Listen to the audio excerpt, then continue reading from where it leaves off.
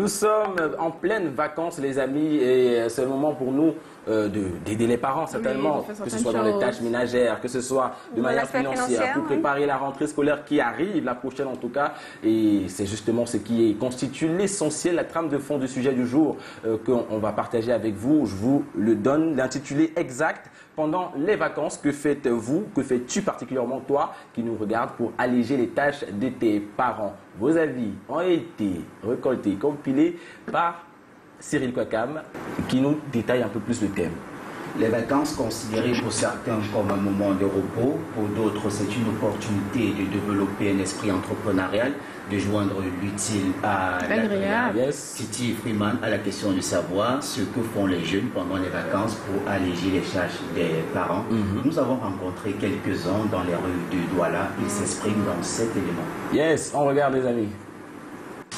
Deux années en arrière, exercé une activité qui me permettait de subvenir premièrement mes besoins personnels, de, faciliter certaines tâches, de faciliter certaines charges financières à la maison. Bon, actuellement, je suis une formation, donc ce qui ne me permet pas de, de venir en aide à mes parents, surtout financièrement, puisque moi j'en ai besoin de, de leur par rapport à moi-même je n'attends pas les vacances pour euh, alléger les, charges des parents, comme l'avait dit. Oui, je le fais même pendant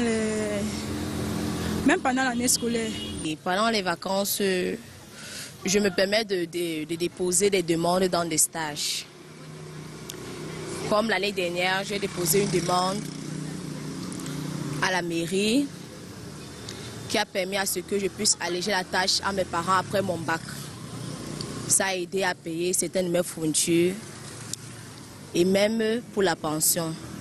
Et cette année, j'ai envisagé ouvrir, puisqu'à l'école nous avons appris euh, entrepreneuriat et management, j'ai envisagé de créer une petite société à moi, un petit business à moi, où j'ai fait dans la fabrication des ventes des chips, où je suis en train de promouvoir aller loin avec cela. On se débrouille, on fait des stages, on, les aide dans le commerce. Néanmoins, quand on donne des congés ou des vacances, les enfants sont censés aider leurs parents. Par exemple, se lancer dans un commerce. Même le parent peut donner un petit capital, se lancer dans un petit commerce. Ou bien, si les parents ont les moyens, faire des stages pour apporter un peu pour que, enfin, des vacances, vous pouvez m'acheter même quelques fournitures scolaires, aider vos parents à payer au moins la moitié de la scolarité. Personnellement, ça m'a aidé à faire ma carte d'identité. Deuxièmement, j'ai débuté avec les préinscriptions à l'université de Yaoundé, de Yaoundé 1 Bon, et puis le reste, je payais le transport pour aller à l'école en attendant les frais d'inscription ou de pension, si je peux dire ça comme ça. Déjà, je, fais le commerce. Je fais le commerce. Ce n'est pas une manière de dire que mes, parents m'envoient dehors euh, parce que soit ils sont incapables de, faire certaines choses. Non, c'est une manière de, de me rendre mature, si je peux le dire ainsi.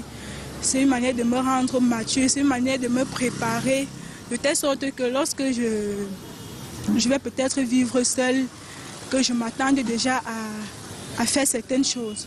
Oui, déjà, je fais souvent je fais le commerce. Non seulement ça m'aide moi-même, c'est pour aider aussi mes parents. Aider, aider mes parents, pourquoi? Euh, Pour qu'ils ne, ils ne prennent plus, pour qu'ils ne fassent plus certaines choses me concernant ou bien sur moi.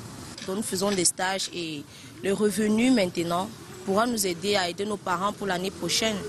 Cette année, j'ai trouvé un stage dans un salon de coiffure où on va nous payer, ce qui va me, me permettre d'aider mes parents à payer la scolarité, mes, fournitures scolaires et autres. J'ai trouvé un stage dans un restaurant. Pour le moment, je finis d'abord mon année scolaire et puis je me lance dans un stage au restaurant, dans un restaurant. Et avec cet argent, je vais aider mes parents, acheter mes fournitures scolaires, bien sûr, et aussi aider au moins une petite partie pour payer ma scolarité. Ils vont compléter le reste. Et le reste, je m'occupe de mes petits besoins. Du coup, vous soyez prêts à, prendre partout. Merci, merci. On a déjà commencé. On avait commencé déjà, ici en, plateau. C'est vrai, merci à la réalisation de maintenir, de garder en bas le thème euh, retenu pour ce jour. On le rappelle, pendant les vacances, que faites-vous pour alléger les tâches de vos parents? Merci de le garder en bas pour que ceux qui nous regardent à la maison soient euh, justement édifiés mhm. sur le sujet qui est abordé. Alors, on va avoir vos avis ici. Hein. Qu'est-ce que vous faites pour aider à alléger les charges des parents pendant cette période de vacances? C'est vrai, vous êtes censé vous reposer, mais il faut bien joindre l'utile à l'agréable. Cyril, je commence par toi, qui était dans les rues? C'est quoi ton astuce pour aider les parents? Il faut dire, Titi, pendant les vacances, c'est le moment idéal de, trouver quoi faire. Mhm. C'est-à-dire, ça peut être un stage, ça peut être une activité lucrative et rentable. Donc, du coup, moi, personnellement, je suis à Canada. Mhm. Nous sommes tous ensemble. Yes. On passe nos journées ensemble. Mhm. Et nous sommes dans une phase d'apprentissage. Ça, il faut le dire, même si pour le moment, ce n'est pas encore oui, justement, parce que l'aspect pécuniaire est important. Si on dit qu'on aide les parents, si on allège les parents, il faut bien qu'on rapporte un truc, qu'on puisse acheter, par exemple, son cartable, qu'on puisse acheter sa rame de papier, qu'on puisse acheter ses stylos, ses fascicules, peut-être au moins pour les, deux premiers mois. Si tu dis que tu fais un stage, c'est vrai, ça c'est pour ton épanouissement, pour tes connaissances personnelles, mais comment est-ce que tu fais pour les aider concrètement? Tu vas peut-être prendre un petit commerce. Mais déjà, moi, j'ai eu cette chance, hmm. j'ai achevé mon cursus scolaire. Donc, du coup, je suis en pleine activité. Mhm. Je suis à la recherche d'un emploi qui me permettra certainement dans les futurs mois et pourquoi même pas dans les futures semaines d'être autonome et de pouvoir aider tes apporter quelque chose à la maison. Yes, Aoun Nazira, je crois que tu es la plus jeune, non? Non, mais fait, me avec mon âge quand même. Oui, tu es la plus jeune ici, dis-nous quoi ce que tu fais pour aider Bon, pendant les vacances, d'abord, j'allège les, les, tâches ménagères à la maison. Parce que c'est ah, déjà à la maison en termes de tâches ménagères Parce que c'est que quand je peux à l'école, je sors très tôt. Donc, quand je sais que non, je suis pendant les vacances, je fais plus des tâches ménagères pour que la maman reste à la maison juste cuisiner. Mhm. Maintenant, côté financier, bah, je me lance dans des, des petits business de vente en ligne. Ça peut être des parfums, ça peut être des vêtements en ligne. Astucieux. Voilà, ça me permet de, de faire un stage euh, en journée. Et mhm. maintenant, le soir, si j'ai des clients qui veulent les articles, des livraisons et tout. Fais juste des livraisons. Magnifique. Alors, Ernestine, je te vois peut-être plus dans ce pan-là, mais pas avec euh, un plateau d'arachide sur la tête. je, à moins que je me trompe, tu es quand même la miss. La miss. Ah, écoute, j'ai toujours eu un esprit entrepreneurial depuis mm. ma, plus tendre enfance. À 14 ans, j'ai commencé à vendre des arachides. Merci. Non, mais. Ah, tu l'as dit comme ça, mais oui. C'est ça, c'est vrai? C'est moi qui ai pris l'initiative personnelle, dit à ma maman ah, Moi, je vais faire quelque chose. J'avais que 14 ans, mais je, connaissais déjà compter l'argent, comme on dit. Et puis, euh, progressivement, chaque année, j'ai monter des petits business. Mm. Après, j'ai fait des stages payants dans d'autres entreprises qui m'ont rapporté quand même assez gros. Mais c'est pas, c'est pas facile de trouver les stages payants. Hein. Parce que les stages payants qu'on trouve, c'est toujours pour euh, soit marcher, se promener avec des articles. C'est tout, ou c'est des stages vraiment où il n'y a pas d'argent. Tu es censé aller apprendre, revenir avec une expérience, des connaissances. Deux. C'est-à-dire ah, que j'apprenais, oui. mais quand même, quelque part, les promoteurs, connaissant notre euh, situation, nous mm. donnaient un 100, 150 000 par mois. Et puis finalement, aujourd'hui, bah, je suis à Canal 2, je fais mon Tu es la star de la télé. Et également, euh, quelque part, également, j'ai mes petits revenus de voix off parce que je les fais très souvent dans des pubs, etc., qui me rapportent de l'argent et qui me permettent d'alléger les tâches. Ah ouais, j'aime ça, j'aime cette sortie-là, Anastasie. Tu l'as dit, tu utilises ta voix, ton talent, ton mhm. don oui, pour le rentabiliser pendant la période des vacances. Et mm. toi, ton nom, c'est ta voix, au-delà de ton charme. Oh, merci. et toi, Titi, tu fais quoi? Euh, Je m'attendais pas à ce Oui, je sais. je t'ai attrapé aujourd'hui. Bon, pendant les vacances, quand j'étais un peu plus jeune que ça, m'envoyait au village. Enfin, tu es toujours jeune, enfin, ok. Un peu plus jeune que ça, m'envoyait au village. euh, activité que je menais. Voilà, il y avait ce qu'on appelle au quartier les chantiers. Oh. Il y avait les chantiers. Euh, comment j'ai pu oublier ça, les chantiers? J'ai perdu, j'ai eu des ampoules, frère. Sérieux? Il y avait les chantiers, tu allais là-bas, tu travaillais. On te donnait 1000 francs la journée. 2000. 2000, ah, n'est-ce pas? Oui, allez, 2000. Une grande Je me rappelle, moi. Une grande, grande. Tu passais par là? Ah. par là. On puisait de l'eau, on remplissait. On remplissait, voilà, justement. que.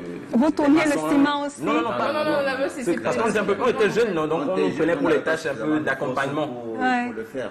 Donc il fallait puiser de l'eau, aller peut-être faire les commissions, revenir ici. Donc c'était un peu ça. Pour moi, pratiquement, c'était ça. Le chantier au quartier, mais après, quand je pouvais sortir, puisque je, partais à la radio, je mm. me permettais d'apprendre. Donc mm-hmm. j'approfondissais mon apprentissage dans le journalisme et la communication en, général. Et ça vous a toujours fait plaisir ce genre de choses? Je veux dire, même si c'était difficile, il y avait quand même une raison derrière, une motivation. Bien sûr, c'est toujours, ça fait toujours plaisir. Je veux dire que tous ceux qui qui, le font, comme vous, comme nous, et, ceux qui ont intervenu dans le Vox Pop, vous, vous diront toujours ça. Ça fait toujours savoir du bien de savoir que tu as pu travailler, que tu as pu rapporter quelque chose, que ça t'a rapporté. Et quand tu le présentes à tes parents, tu n'imagines pas la joie qui est dans leur cœur. Oh, oui, que dans le sien. Oui. Dans ça. Tu, es heureux d'abord de ce que tu as fait. Épanouissement personnel, épanouissement familial. Super. Merci à vous pour vos réactions. Mais continuez euh, de réagir sur notre page Facebook. On le dira sans cesse, on le dira sans cesse. Merci pour vos multiples réactions. Merci à vous les amis pour vos interventions. On espère qu'ils en ont pris de la graine les plus jeunes là-bas. Donc sortez de la maison, allez travailler, allez euh, aider les parents, alléger leurs charges pendant cette période des vacances. On continue l'émission jusqu'à 18h. Euh, on l'a dit avec tout de suite Pips. L'actualité People, c'est dans Pips. On regarde. Mais avant le grand frère. Le grand frère. Ah oui, oublié, oublié le grand frère. J'aimerais déjà féliciter tous nos jeunes frères, parce que je me mets également à l'intérieur, qui prennent la peine d'aider les parents. On est ensemble. Je vais expliquer ça un peu très rapidement. Vous savez, peu importe si tu es un homme ou une femme, ou bien un jeune homme ou une jeune femme, on est ensemble. Quand tu prends déjà cette lourde tâche d'aider tes parents, tu as déjà une certaine expérience que tu es en train d'acquérir. Pourquoi? Parce que tu seras un jour appelé à être parent on est ensemble. Et quand on parle de parents, on parle également de la responsabilité que ces parents-là portent. Donc c'est déjà très très bien, je te félicite. Tu es dans une formation inconsciente, que dans le futur, ça va être conscient. De l'autre côté maintenant, j'aimerais parler, j'aimerais dire également à nos jeunes frères de ne pas en faire trop. Parce que chaque fois que vous voulez en faire trop, n'oubliez pas, c'est également la responsabilité de nos parents de prendre soin de nous. Donc ne faites pas trop. Dans quel sens? Je vais parfois dire, on a des jeunes qui partent souvent dans des stages. Dans des stages, ou bien on a ceux qui vendent à la sauvette. Ceux qui partent par exemple dans des stages, ils sont souvent euh, forcés par des propositions. Je vais dire des propositions qui vont dire que, ok, euh, à la fin on va te garder si tu fais ça, si tu fais ça. S'il vous plaît, ne vous compromettez pas à cause d'un travail qu'on va vous promettre. Parce que parfois, ce n'est même pas votre destinée de rester là-bas. Ce que vous pouvez simplement faire, c'est de dire non. Parce qu'il y, a il y a un grand pouvoir et une grande force quand vous dites non. Vous pouvez dire non ou bien vous pouvez simplement rentrer voir vos parents et vous leur dites que papa, voilà ce qu'on m'a dit. Qu'est-ce que tu en penses? Qu'est-ce que tu en penses? Parce qu'il est très très important.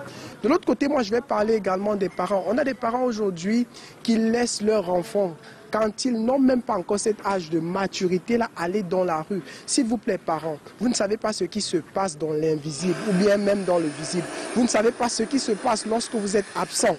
Donc parfois les enfants vont rentrer avec de l'argent, vous allez simplement voir de l'argent, vous n'allez pas vous poser la question où est-ce qu'il a pris tout cet argent? Pourtant la marchandise ne vaut même pas cet argent, mais simplement vous allez décider de prendre. S'il vous plaît parents, je ne sais pas de, vous faire culpabiliser, mais j'essaie juste de passer un message. Avant d'envoyer un enfant dans la rue, vous, premièrement, vous pouvez s'y construire une certaine zone. Deuxièmement, l'enfant qui n'est pas encore mature d'aller en route, ne l'envoyez pas, sous peine de vouloir l'argent. Je vais vous poser une question. Si on vous appelle au téléphone, on vous dit votre enfant a fait de l'accident parce que vous l'avez envoyé en route, qu'est-ce que ça va vous faire? Alors, s'il vous plaît, parents, soyons conscients. Nous, les jeunes, s'il vous plaît, prenez également le temps de réfléchir à certaines propositions. Merci, c'était le grand frère Emmanuel. Yes, merci au grand frère Emmanuel Noudem pour sa riche contribution qu'on a failli oublier tellement, tellement le sujet est intéressant qu'on était dans, dans, les échanges. Bah, et, peut-être que, que vous ne savez pas, c'est que le, nos stars qu'on voit comme ça, ont commencé. Ah, ils étaient jeunes. Petit, petit. des activités. d'autres ont chanté, d'autres ont participé à Challenge Vacances qui commence dans, très, très, bientôt. oui. D'autres ont, fait des, challenges, ont participé à des compétitions. Et c'est comme ça qu'ils ont été repérés par C'est comme ça qu'ils ont été repérés. Ça nous conduit tout droit dans le PIPS, l'actualité people de nos stars, compilé pour nous par Arun Nazira, juste après le jingle.